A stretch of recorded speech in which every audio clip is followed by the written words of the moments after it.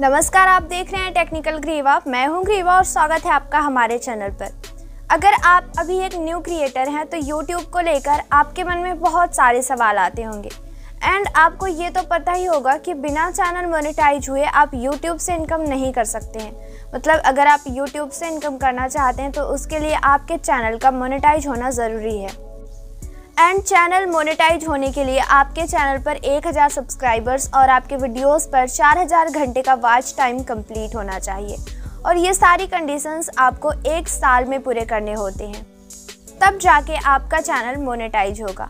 But आपके मन में एक सवाल ये भी आता होगा कि अगर हमारे चैनल पर एक साल में 1000 सब्सक्राइबर्स और 4000 घंटे का वॉच टाइम कंप्लीट नहीं हुआ तो क्या होगा? आज के इस वीडियो में हम इसी के बारे में जानेंगे।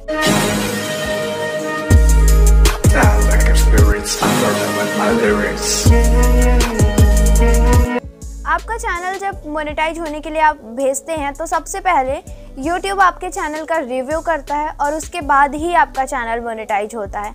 लेकिन जब आप YouTube को अपना चैनल रिव्यू करने के लिए भेजते हैं तो आपके चैनल पर 1000 सब्सक्राइबर्स और 4000 घंटे का वॉच टाइम एक साल के अंदर कंप्लीट होना चाहिए। तो मान लीजिए कि आपको चैनल बनाए हुए एक साल कंप्लीट हो गए हैं बट अभी तक आपके चैनल पर 1000 सब्सक्राइबर्स और 4000 घंटे का वॉच टाइम कंप्लीट नहीं हुआ है। या फिर आपने सब्सक्राइबर्स तो कंप्लीट कर लिया बट वॉच टाइम अभी भी कंप्लीट नहीं हुआ है। या फिर मान लीजिए कि वॉच टाइम कंप्लीट हो गया बट सब्सक्राइबर्स कंप्लीट नहीं हुए हैं तो कुल मिलाकर अभी तक आपकी क्राइटेरिया जो है वो पूरी की पूरी कंप्लीट नहीं हुई है। तो ऐसे में कुछ लोग सोचते हैं कि अब हमें एक साल वेट और करना पड़ेगा। अगर आप भी यही सोचते हैं कि आपको एक साल और वेट करना पड़ेगा तो ये बिल्कुल गलत है।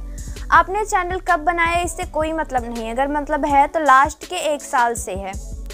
फॉर एग्ज़ाम्पल हम मान लेते हैं कि आपने 1 जनवरी 2021 को अपना चैनल क्रिएट किया था। तो 1 जनवरी 2022 को आपको चैनल क्रिएट किए हुए एक साल कंप्लीट हो जाएँगे।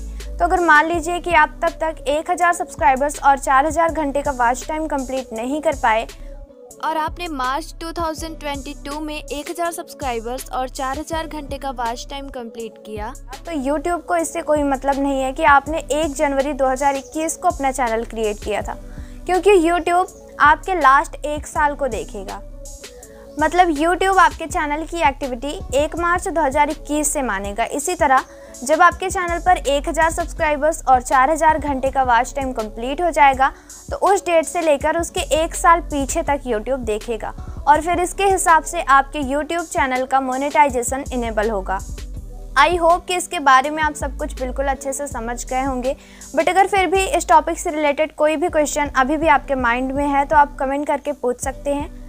आई होप कि वीडियो आपको पसंद आई होगी। अगर वीडियो पसंद आई हो तो वीडियो को लाइक और शेयर करिए। और अगर चैनल पर नए हैं तो चैनल को सब्सक्राइब कर लीजिए। मिलते हैं नेक्स्ट वीडियो में किसी नए टॉपिक के साथ। तब तक के लिए नमस्कार।